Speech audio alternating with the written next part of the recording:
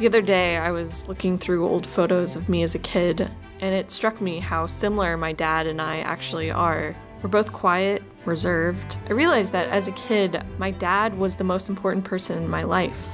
The best part of my day was hearing the garage open. My brother and I would sprint toward the door, screaming as we jumped into his arms. And no matter how tired from work he was, he would pick us up, pretending with us that the floor was lava.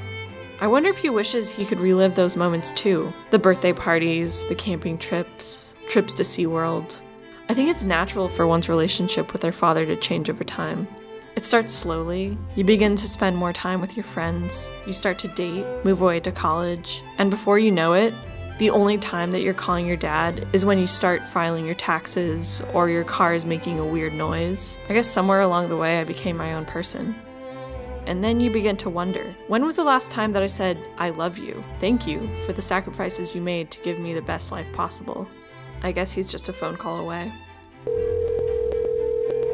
Hello. Hello, Father. Hey. Uh, I just wanted to tell you I love you and Oh. thank you for all that you've done. Well, I love you too. That makes me very happy to know that you have fond memories and that you really enjoyed spending time with me because I certainly enjoyed spending time with you. You're coming down on Sunday? Um, For Father's Day. Yeah. okay. What time do you think you'll come over? Um, probably like in the afternoon. Okay.